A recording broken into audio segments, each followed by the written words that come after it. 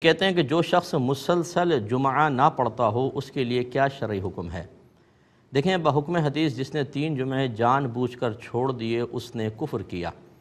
الفاظ یہ ہیں۔ تو اس میں علماء نے تشریح یہ کی ہے کہ اگر وہ حرام سمجھ کے ہی چھوڑتا ہے یعنی نفس کی سستی تو ہے، لیکن سمجھتا ہے کہ میں غلط کام کر رہا ہوں، تو اس حدیث کا مطلب اس شخص کے حق میں یہ ہوگا کہ وہ بہت بڑے ناشکر پن میں مبتلا ہے۔ کافر حقیقتاً نہیں ہوگا، لیکن گناہ کبیرہ، سخت گناہ کبیرہ کا میں مبتلا ہوگا۔ اور خوف ہے کہ شاید یہ کفر تک پہنچ جائے کہ شیطان اس کو اور دیگر گناہوں تک پہنچا دے جو اس سے کفر تک پہنچائیں۔ کیونکہ جب انسان کوئی کبیرہ گناہ لگاتار اور بے پرواہی کے ساتھ کرتا ہے تو ایمان کمزور ہو جاتا ہے۔